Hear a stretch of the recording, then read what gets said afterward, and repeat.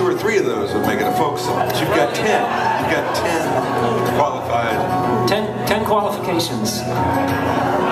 Ten criteria. Ten out of ten. And yet, you'd think everywhere I went, people would agree with me that this is a certified folk song, right? And I was fine until I got to Glasgow, Scotland a couple years ago, where they are unimpressed. Unimpressed with a folk song where only one person dies.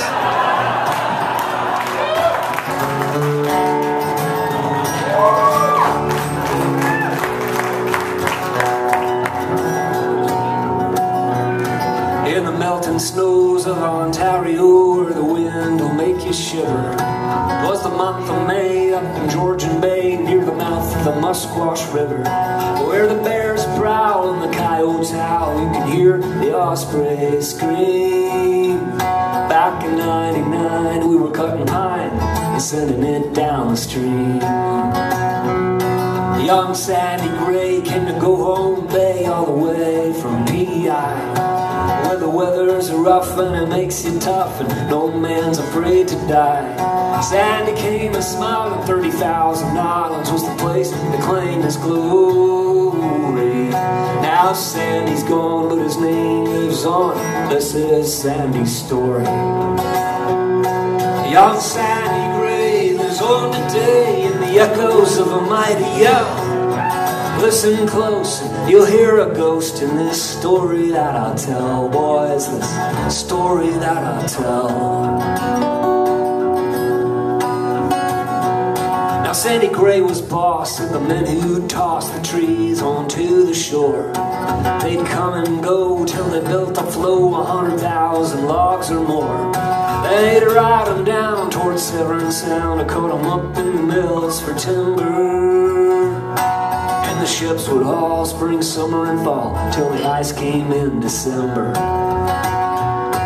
One Sabbath day, Big Sandy Gray came into camp with a peavey on his shoulder. With a thunder crack, he dropped his axe and the room got a little bit colder. He said, Come on, all you, we got work to do. We gotta give her all we can give her. There's a jam of logs at the little jog near the mouth of the Musquash River. With no time to pray on the Lord's day, they were jam was high in a devil's sky. They set out about their business. They poked with their poles and ran with the roads, tried to stay on their feet. Every trick they tried, and one man cried, This log jam's got us beat. But Sandy Gray was not afraid. He let out a mighty yell. I'll be down. We'll break this jam, or it's breakfast in hell, boys. It's breakfast in hell.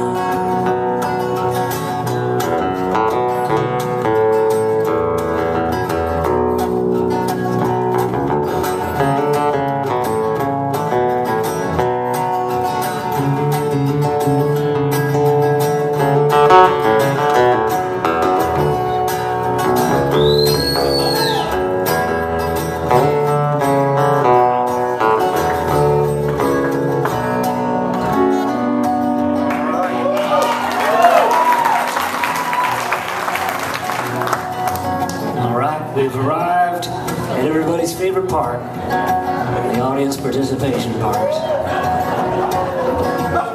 Now, don't get nervous. I'm not going to be all Pete Seeger on you and make you learn a whole bunch of words on the spot, and memorize a bunch of words and a melody and all that. There's actually no words, and there's no melody.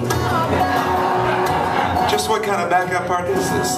Well, Scrappy, this is a work game, man. Right. All you need is a strong back and kind of a heave-ho kind of thing. But the key is I want everybody to pitch in. Scrappy and I are going to start off as your work game captains. And when I hear everybody doing their part, and only then, I'm going to start doing the next verse. All right? Everybody now.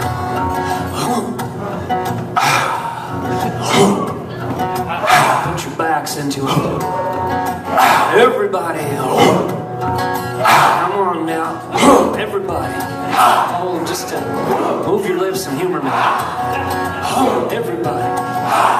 Every one of the men did the ten. Sandy scrambled up to the top. He's a working like a dog, eating 30 foot logs, and it looked like he'd never stop. And they struggled on, these men so strong, till the jam began to sway. And then they go for cover to the banks of the river, all except for Sandy Gray. All right, you can stop now.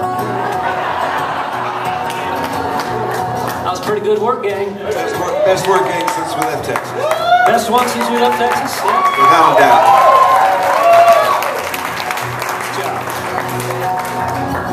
All right, now before we move on, we've noticed over the years when we do this bit that uh, now you don't have to raise your hand or be embarrassed or anything, but we have noticed that when we do that part, there's always a few people in the audience who are concentrating so hard on their part that they didn't hear what happened in that verse. And they get lost in the story. So for those people, we'll do a quick little recap. The good news is the the, jo- the log uh, the, the gang did their part. The log jam came crumbling down.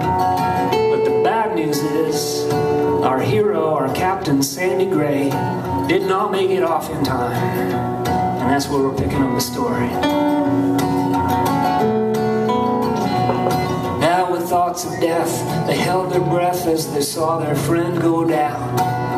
They all knew in a second or two he'd be crushed or frozen or drowned. Yeah, they saw him fall, they heard him call just once, then it was over. Young Sandy Gray gave his name that day near the mouth of the Musquash River.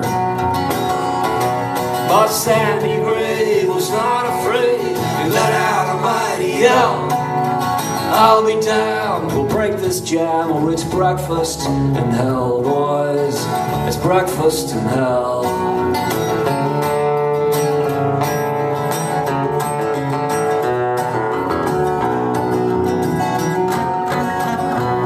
East to Giant's Tomb, there's plenty of room, there's no fences and no walls. And if you listen close, you'll hear a ghost down by Sandy Gray Falls. Through the tops of the trees, you'll hear in the breeze echoes of a mighty yell. I'll be damned, we'll break this jam, or it's breakfast in hell. Sandy Gray lives on today in the echoes of a mighty yell. I'll be down, we'll break this jam, or it's breakfast in hell, breakfast hell.